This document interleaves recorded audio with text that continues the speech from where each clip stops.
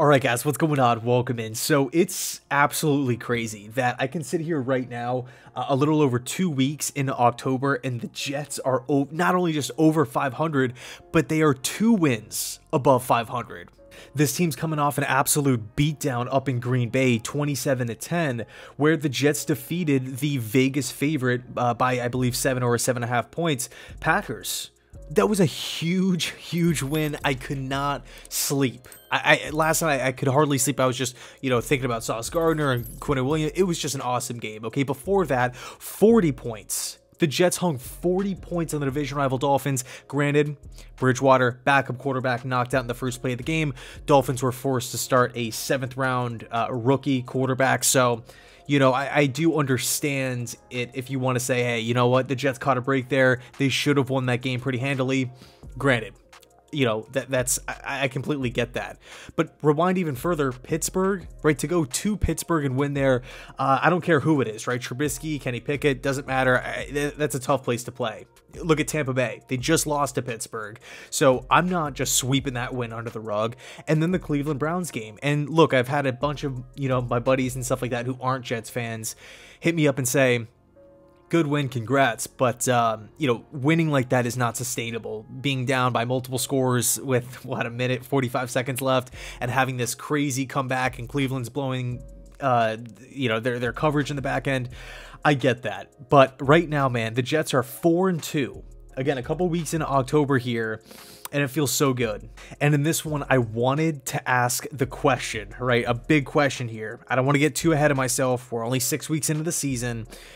But look, is it realistic to say that this Jets team can make the playoffs? I would say right now the answer is yes. Okay, again, six weeks into the season, maybe I'm overreacting, but when I look at the table, right, the the standings in the AFC, there's a bunch of teams that I felt like had a ton of hype this offseason. I, I feel like the average fan would assume that some of these teams would get a lot better, uh, but it just hasn't really worked out that way. Uh, I mean, we can look right off the bat at the one and four Raiders. I mean, that roster is stacked. They go out and they had Josh McDaniels, Davante Adams, bringing Chandler Jones. They're one and four right now. You know, again, it's so early in the season, things could change. I'm not writing them off or anything like that. But when we just look at the first, you know, couple games here, there are teams that have definitely disappointed so far. We can look at the 3 2 and 1 Colts, the 2 and 4 Browns, 3 and 3 Bengals. Uh, who else? Well, you know, I'm, I do not want to jinx anything here. Let me knock on wood. But the 2 and 4 Broncos, I mean, man, they, they go out, they had Russell Wilson. And I mean, the team won a, a solid amount of games last year you go out and add Russell Wilson, and this team just looks, you know, complete. They look completely different, especially offensively. It's just like pulling teeth trying to score touchdowns. It's crazy to watch. Now the Jets are playing playing them this weekend. I'm hoping the Broncos' uh, struggles continue, right? Obviously, um, but with that said, they've disappointed so far. Two and four with Russell Wilson and that amount of weapons on offense. Come on. Right now, the New York Jets are four and two, sitting in second place in the AFC East. In front of them, they got the five and one Buffalo Bills, right, coming off a great, great win against the Chiefs. Uh, huge win. I mean, it, it's crazy what Buffalo is doing without guys like Tre White Micah Hyde. Uh, unfortunately, though, they did win. We also have to look at the New England Patriots sitting in last place. They beat down the Cleveland Browns in Cleveland with uh, Bailey Zappe, another mid-round late uh, pick rookie quarterback.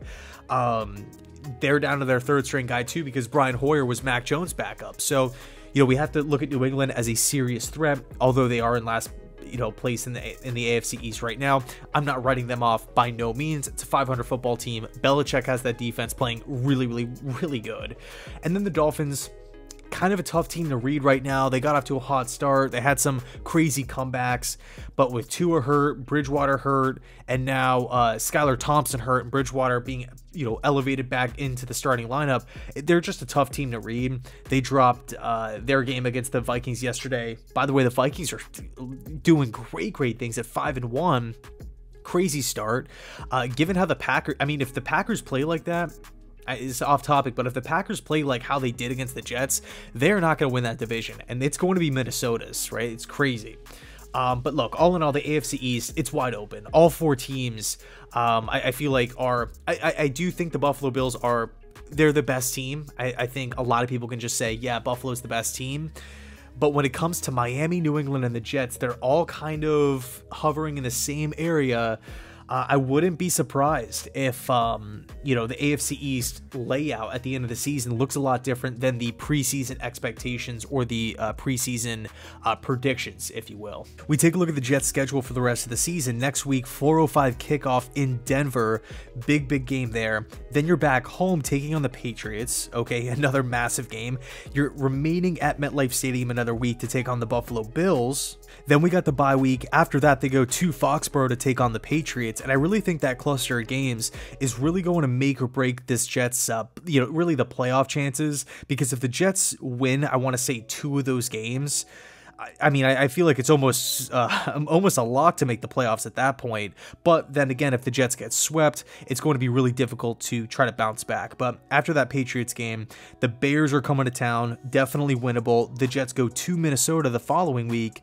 Uh, let's see, first week in December. Going to be a tough game, especially if Minnesota continues to play like this. Jets go to Buffalo obviously a super tough game. Detroit after that, Jets home game, Jets home game against the Jaguars on Thursday Night Football. So that should be pretty cool. Jets at Seahawks, Jets at Dolphins. Okay, so if the Jets look like how they did yesterday against Green Bay and how they did against Pittsburgh, there's a really good chance this team can make the playoffs. I believe that. I mean, there's winnable games on that schedule. The Lions, the Bears. I mean, we'll see what happens within uh, you know within the division here, but man, winnable games. If the Jets look like how they did against Green Bay and Pittsburgh, right? If they could go to Lambeau, they could go to Pittsburgh, they could go to Cleveland and walk away victorious, walk away with W's, and they're not even playing their best football. I feel really good about the Jets' chances. Okay, so I'll leave it there. Let me know your thoughts down below in the comment section. It's definitely going to be somewhat of a controversial topic, right? I mean, because we, we all know how people view this team, uh, the same old Jets saying and everything like that. But uh, yeah, it should be really interesting. Thanks so much for watching. Congrats on the win, man. I, I hope you guys are feeling as good as me. Um, totally awesome stuff. Totally awesome. Let me know your thoughts. And as always, go Jets.